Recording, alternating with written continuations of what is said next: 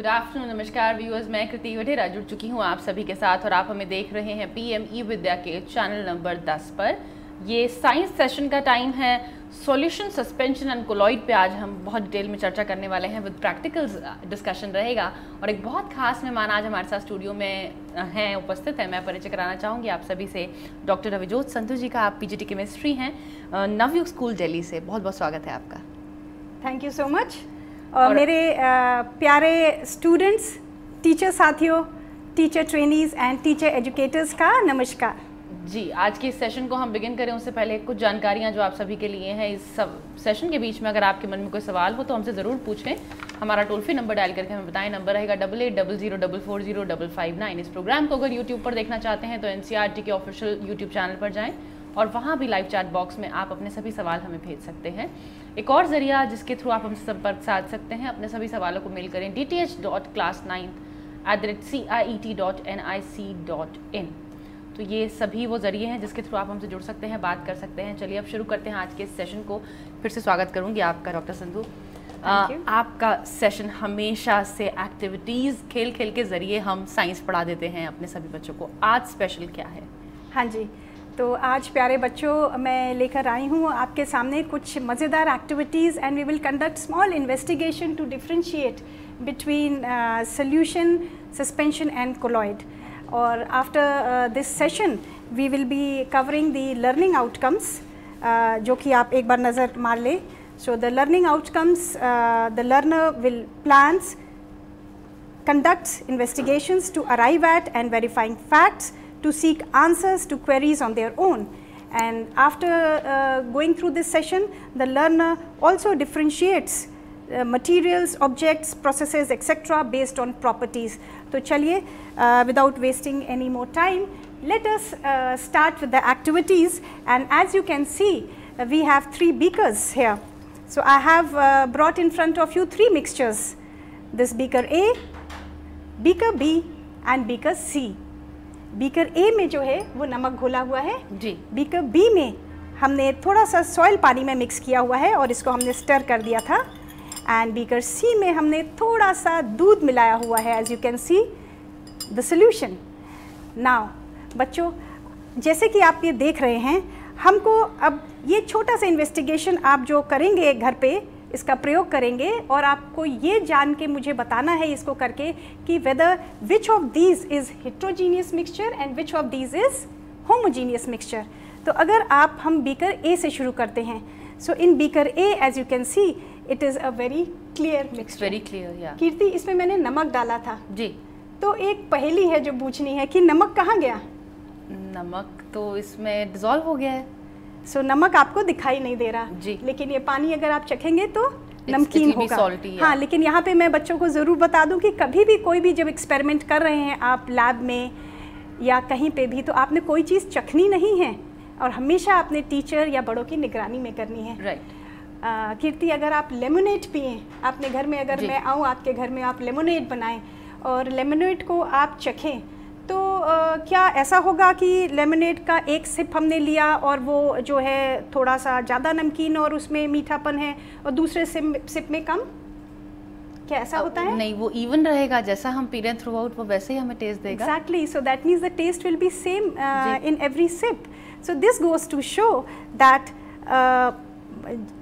this type of solution जिसमें हमने salt mix किया है या इसमें अगर हम शुगर भी मिक्स कर लेते हैं जो सल्यूट जिसको हम कहेंगे छोटी मात्रा में होता है उसको जब हमने मिक्स किया तो ये इवनली डिस्ट्रीब्यूट हो गया पूरे बल्क मीडियम में और इतने छोटे छोटे कणों में टूट गया कि ये कण जो है आपको अपने नेकेड आई से दिखाई भी नहीं दे रहे। तो इस तरीके के मिक्सचर को हम लोग कहते हैं होमोजीनियस मिक्सचर ठीक है? दिस होमोजीनियस यस सो ये होमोजीनियस मिक्सचर है जो कि लिक्विड में बनाया गया है। अब कई बार लिक्विड में जो बना हुआ मिक्सचर होता है लिक्विड में हम या तो सॉलिड घोल सकते हैं या हम लिक्विड में लिक्विड भी घोल सकते हैं और लिक्विड में हम गैस भी घोल जो है उसमें मिक्स कर सकते हैं। जैसे कि सोडा वाटर होता है that is also a solution right now we have to see observe this mixture ये मिक्सचर जो है जिसमें कि हमने सॉइल घोली हुई थी। Are the particles visible in this yes very much you can see the particles. That means the particles of soil are big enough for you to yes. see them तो आप ये थोड़ा सा ऐसे हाँ, दिखाएँ हमारे व्यूअर्स के लिए देखने के लिए आसानी रहेगी कि सभी पार्टिकल जो हैं वो विजिबल हैं। विजिबल हैं। तो ये चूँकि विजिबल है तो ये हम कहेंगे this is a non homogeneous mixture and in these non the non homogeneous mixture in which the particles settle down or they remain suspended in the bulk medium then such a mixture is known as heterogeneous mixture. तो ये Okay. आपने पता लगा लिया कि जहाँ पे particles जो हैं वो दिखाई नहीं दे रहे हैं इतने बारीक हैं कि वो घुल मिल गए हैं दोस्ती कर ली उन्होंने और आपको बिल्कुल दिखाई नहीं दे रहे वो तो हो गए होमोजीनियस मिक्सचर तो अब ऐसे मिक्सचर्स देखिए आप अपनी डेफिनेशन भी बना सकते हैं। कि ऐसे मिक्सचर्स जहाँ पे the solute particles are so small that they get evenly distributed and they form a uniform composition तो उनको हम लोग कहते हैं true solution isn't it okay तो ये हो गया हमारे लिए एक और नाम आया है जो ट्रू सोल्यूशन है। सो ऐसे ट्रू सोल्यूशन बहुत होंगे। आपने आसपास काफ़ी ट्रू सोल्यूशंस आप देखते होंगे। जैसे कि लेमिनेट की बात करी हमने सोडा वाटर की बात करी। तो क्या आपको और ये जान के आपको हैरानी होगी कि जो कुतुब मीनार के पास आयरन पिलर है क्या हम उसको भी सोल्यूशन कह सकते हैं? आयरन पिलर को सोल्यूशन कह सकते हैं? ये ज़रूर पहेली है। हाँ, ये एक वो पहेली- पहेली मुझे नहीं लगी पर ये ज़रूर पहेली है।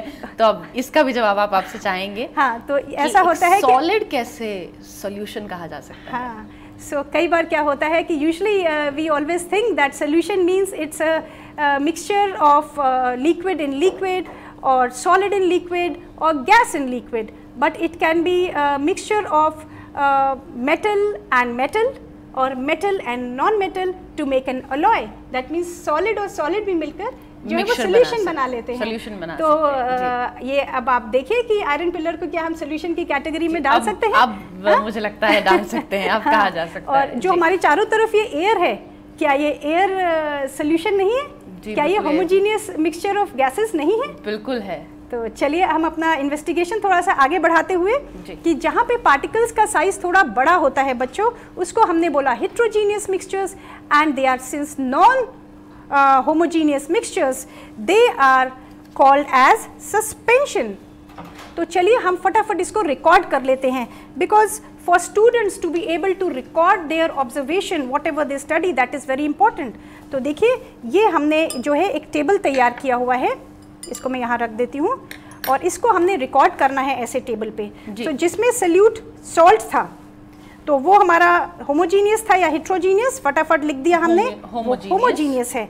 और जिसमें सल्यूट सॉइल था, था। तो क्योंकि वो घुला नहीं था दैट वाज heterogeneous हिट्रोजीनियस तो इस तरीके से बच्चों आपको टैबुलर फॉर्म में अपनी फाइंडिंग्स को लिखना भी आना चाहिए।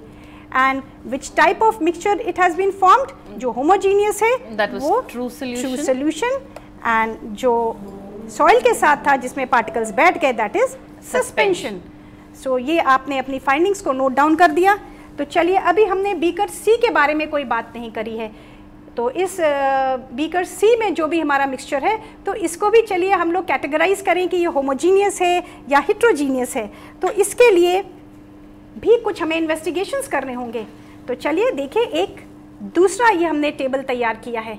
अब इसमें हमने बीकर ए बी और सी इनको तो हमने कैटेगराइज कर लिया होमोजीनियस हिट्रोजीनियस अब हमारे पास चार प्रॉपर्टीज़ रहेंगी। चार प्रॉपर्टीज़ हमारी हैं transparency stability filtration and Tyndall effect ये चारों प्रॉपर्टीज़ के आधार पे हम लोग फर्दर जो है हमारे सस्पेंशन कोलॉइड और जो हमारा सी का मिक्सचर है उसके बारे में पता लगाते हैं। तो देखिए ये मिक्सचर हमारा पारदर्शी है। ये पारदर्शी है। जी बिल्कुल ट्रांसपेरेंट ट्रांसपेरेंट है। बिल्कुल ये ट्रांसपेरेंट है। तो ये हम इसके ऊपर फटाफट लिख देते हैं अपना कि ये हमारा ट्रांसपेरेंट है। राइट और हमारा क्या ये बी वाला ट्रांसपेरेंट है मिक्सचर अगर हम इसको इस तरीके से करें it is not transparent not clear so that means ये हम कह सकते हैं हम फटाफट लिखते हैं यहाँ पे it appears opaque isn't it right और ये कैसा है? ये वाला जो है क्या ये ट्रांसपेरेंट है? I guess it's translucent that's I can say अच्छा सो so आपको ये टर्म पता है हमारे छोटे बच्चों को शायद ये टर्म ना पता हो। नहीं बट तो ट्रांसल्यूसेंट मुझे मतलब तो ये, ये थोड़ा सा टर्बिडिटी है इसमें। नहीं मुझे ट्रांसल्यूसेंट बिल्कुल ध्यान आया जिसमें कि बहुत ज़्यादा ना, ना वो ओपेक हो ना ट्रांसपेरेंट हो। बिल्कुल सही That कहा तुमने। translucent. तो ये हमारा ट्रांसल्यूसेंट आ गया। चलिए अब स्टेबिलिटी की बात अगर हम लोग करते हैं so which of these mixture is stable stable को जानने के लिए हमें ये देखना है कि जो इसमें नमक घुला हुआ था since the particles are so small कि they have can you see the particles you can not No. See them are have they settle down at the bottom No. No they have not settle down so that means it's a stable mixture stable इसको stable mixture कहेंगे। और यहाँ पे देखिए ये जो soil particles हैं ये सेटल डाउन हो गए हैं। So since they have settle down that means ये स्टेबल नहीं है तो ये हमारा जो है स्टेबिलिटी की अगर हम लोग बात करें कंपैरिजन करें सो ये स्टेबल हुआ ए और ये अनस्टेबल हुआ। और इसकी क्या बात करेंगे? इसमें देखिए ये तो टर्बिड मिक्सचर था हमारा और इसमें भी द पार्टिकल्स जो हैं जो दूध के कण हैं they are dispersed in the bulk medium they are but I mean colour तो इसका चेंज हुआ है ना हाँ, डॉक्टर इसका हल- तो हम इसको किस कैटेगरी में डालने हाँ, वाले हैं? तो इसको किस कैटेगरी में डालेंगे? एक तो ये, ये पहली वाली बात तो इसको होमोजीनियस कहें या हेट्रोजीनियस होमोजीनियस जो है वो यूनिफॉर्मली डिस्ट्रीब्यूटेड हो सकता है और ये ट्रांसपेरेंट है राइट Right. right? अब इसमें जो है पार्टिकल्स अच्छा एक यहाँ पे मैं व्यूअर्स को ज़रूर बात बता दूँ कि बच्चों जो हमारा ए और बी है जो होमोजीनियस एंड हिट्रोजीनियस हमारा यहाँ पे सोल्यूशन और सस्पेंशन बना है यहाँ पे दो कंपोनेंट्स जो छोटी मात्रा में होता है दैट इज़ सल्यूट और जो बड़ी मात्रा में जिसमें घोला गया है, उसको हम सॉल्वेंट कहते हैं। और ये जो हमारा तीसरा मिक्सचर है, यहाँ पे हमने दूध डाला था थोड़ी सी मात्रा में। तो ये जो है हमारा स्टेबल जो है, इसको हम कहेंगे बिकॉज़ इसमें पार्टिकल सेटल नहीं हो रहे हैं। तो ये हमारा स्टेबिलिटी की बात हो गई। ना coming to the third criteria इसको और थोड़ा सा हम लोग विस्तार से पढ़ लें। तो ये हम लोगों को जो आपने ये बात पूछी है कोलॉइड की, इसके लिए हमें प्रयोग करना पड़ेगा एंड दैट इज़ फिल्ट्रेशन तो चलिए यहाँ पे देखिए, हम लोग फिल्ट्रेशन करते हैं, इसको मैं थोड़ा सा साइड हटा दूँ। तो ये फिल्ट्रेशन का प्रोसेस है। फिल्ट्रेशन में जब मैंने थोड़ी देर बाद, यहाँ पे ये प्रयोग कर लिया था, क्योंकि यहाँ टाइम की कमी है तो इसको अगर हम लोग मिक्सचर ये बी है हमारा, इसको अगर मैं इस तरीके से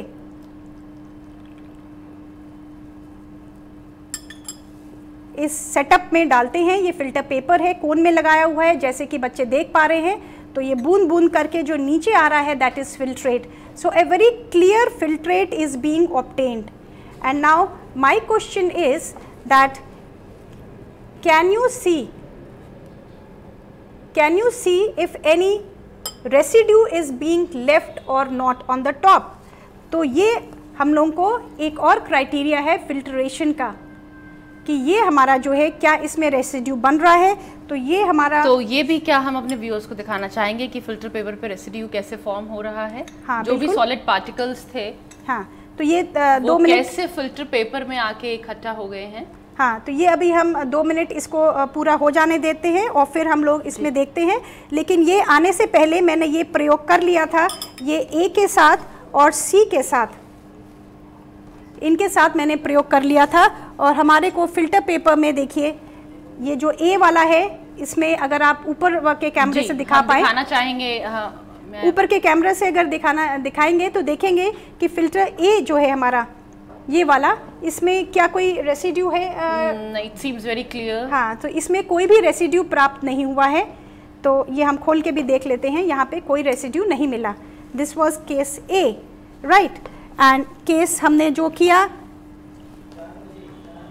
ये हमारा प्रोसेस मैंने this, किया था। सी ये सी का था और सी पे भी जो है कोई रेसिड्यू प्राप्त नहीं हुआ था। जी। सो ए और सी में कोई रेसिड्यू प्राप्त नहीं हुआ और जबकि ये तकरीबन अब हमारा हो चुका है और ये हमारा बी का हमने किया था। सो so, इसमें देखिए अगर टॉप कैमरा से दिखाएँ आ, तो आप देखेंगे कि क्या कुछ जो इसमें सॉइल थी बी वाले में तो क्या इसमें ऊपर आ, गई है सेपरेट हो गई है? जी इसमें पार्टिकल्स आ रहे इसमें हैं। पार्टिकल्स जो हैं हमारे सारे सॉइल के ऊपर एकत्रित हो गए हैं और इसको बच्चों हम कहते हैं जो ऊपर हमें मिलता है that is residue that means in case of B residue is obtained and नीचे में जैसे कि आप देख रहे हैं very clear filtrate is obtained right तो ये हम लोग जो है हमारा फिल्ट्रेशन प्रोसेस जो है ये भी बहुत एक इंपॉर्टेंट क्राइटेरिया है to differentiate between A B and C तकरीबन हम लोग अब बहुत क्लोज आ चुके हैं इनको डिफ्रेंशिएट हम लोग कर पाएँ। तो इसको मैं नोट भी हम लोग करवाना चाहेंगे बच्चों से। आ, हाँ तो बच्चों यहाँ पे हमने जो किया अभी स्टेबिलिटी का हम लोग लिख लेते हैं। स्टेबिलिटी का नहीं लिखा गया।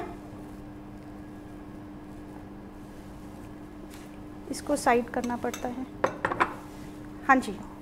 सो so, ये हमारा मिक्सचर स्टेबल था बी वाला क्योंकि इसमें कोई भी चीज़ सेटल नहीं हुई थी। ए वाला। बी जिसमें सॉइल था वो अनस्टेबल था बिकॉज़ सॉइल बैठ गई थी। जी। और सी वाला जो है उसमें डिस्पर्स था मिल्क के जो पार्टिकल्स हैं। फैट तो ये हमारा क्वाइट स्टेबल में आ जाएगा। Right right?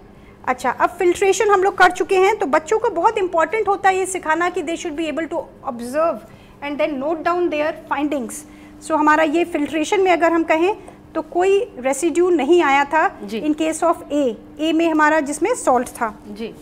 और बी में रेसिड्यू आया था मिट्टी जो है वो ऊपर रह गई थी और सी जो है उसमें कोई रेसिड्यू नहीं था। तो अब हमने तीन क्राइटेरियाज पढ़ रहे पढ़ लिए हैं। Coming to the last criteria अब बहुत ही इंटरेस्टिंग एक आ, हम लोग आ, दिखाने वाले हैं। यहाँ पे मैं चर्चा करूँगी। एक साइंटिस्ट थे, टिंडल नाम के, जॉन टिंडल। और यहाँ पे बच्चों, आप ज़रूर से जब भी किसी साइंटिस्ट के बारे में पढ़ें तो कोई चित्र उसका जो है, साइंटिस्ट का स्केच बनाने की कोशिश करें। और उसके ज़रूर से जाके पढ़िए कि वो चाइल्डहुड में कैसे थे साइंटिस्ट। जब वो आपकी उम्र के थे तो वो क्या करते थे? उनकी कैसी सोच थी? वो इतने क्यूरियस नेचर के थे? या उन्होंने आप भी जो है, एक दिन साइंटिस्ट बन सकते हैं? तो ये जो है ज़रूर से थोड़ा सा आर्ट इंटीग्रेटेड लर्निंग को भी लेके आए टीचर एजुकेटर्स से मेरी दरख्वास्त है। तो चलिए थोड़ा सा आगे बढ़ते हैं अपनी इन्वेस्टिगेशन को और एक और पहली पूछते हैं कि अगर हम यहाँ पे टॉर्च लेके आएँ तो जो टिंडल था साइंटिस्ट उनके मन में एक जिज्ञासा आई और उसने क्या किया? एक टॉर्च जो है आ, वो तीनों सोल्यूशंस में जैसे हमारे यहाँ सोल्यूशंस बने हुए हैं उसमें जो है जब पास करी क्योंकि यहाँ पे बहुत रोशनी है तो ये वाली टॉर्च जो है शायद हमारा ठीक से जो हम दिखाना चाह रहे हैं वो ना दिखाई पड़े। तो ये तो इसलिए हम एक डार्क रूम में अगर हम इसको करेंगे तो शायद बिल्कुल। तो मैं आ, क्या करूँगी यहाँ पे आ, मैं लेज़र लाइट ले आई हूँ। इससे बहुत क्लियरली दिखाई दे जाता है।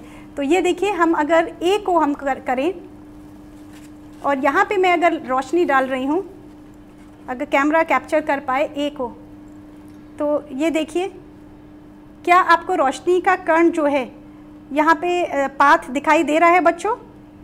आपको नहीं दिखाई दे रहा। और ये कृति आपके लिए मैं थोड़ा सा ऊपर करके कर रही हूँ। ये देखिए ऐसे। क्या आपको रोशनी मिक्सचर के अंदर जाती हुई दिखाई दे रही है?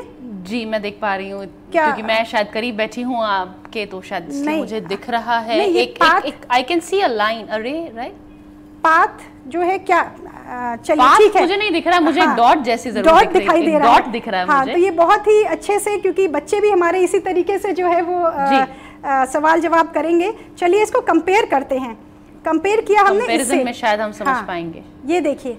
This is what path is ये देखिए यहाँ पे बच्चों क्या आपको ये रोशनी जो है लेजर लाइट से निकली हुई ये क्लियर जाती हुई नज़र आ रही है? जी। अब अगेन कंपेयर कर लेते हैं तो आपको क्लैरिटी आएगी। ये देखिए ये हमारा है इसमें पाथ हमें नहीं दिख रहा है। जी। Path of light when we are directing the beam into the mixture can you see the path of the light in the case of A we can not see in case of B the path is visible and in case of C let us see ये it is visible isn't it yes और यहाँ पे आ, आप यहाँ पे इसको investigation को further आप ले जा सकते हैं। और अगर आप आ, देखें कि अगर मैं इसको थोड़ा सा ज़्यादा हम डाइल्यूट कर दें तो क्या हमको पाथ ऑफ़ लाइट क्लियर ज़्यादा दिखाई दे रहा है? So on and so forth तो ये आपके जो है छोटे छोटे इन्वेस्टिगेशंस के साथ आप पता लगा सकते हैं कि कौन सा जो है स्कैटरिंग ऑफ़ बीम कर रहा है। नाउ बच्चों दिस इज़ अ वेरी ये जो अभी आपने देखा so this effect of scattering the beam of light this is called Tyndall effect और ये दिया गया था जॉन टिंडल के द्वारा। तो यहाँ पे जो है, जो टिंडल इफ़ेक्ट जो हमारे कोलॉइड पार्टिकल्स हैं, क्योंकि इतने बारीक पार्टिकल होते हैं तो वो टिंडल इफ़ेक्ट दिखाते हैं। तो इसको जो है, हम लोग अपना फाइनल अपने चार्ट में फिर से इसको नोट कर लेते हैं। ताकि हमारी फाइंडिंग्स जो है कंप्लीट हो जाएँ। जी। सो टिंडल इफ़ेक्ट होमोजीनियस जो पहले वाला था does not scatter beam of light क्योंकि आपको लास्ट में डॉट दिख रहा था। एंड जो बी वाला था it scattered beam of light right and C वाला also scattered beam of light जी मैं चाहूँगी थोड़ा सा रिकॉल हमारे सभी व्यूअर्स करें।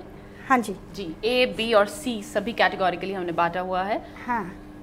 तो ये जो है आप लोग ने बच्चों तो इस तरीके से अपनी फाइंडिंग्स को जो है कम्युनिकेट करना है राइटिंग में in tabular form also you can do it and therefore because beaker A was homogeneous transparent stable it did not have any residue while filtration did not scatter beam of light so it is categorize into a solution we can say it is a solution so आप लोगों को अब solution की definition रटनी नहीं है बच्चों।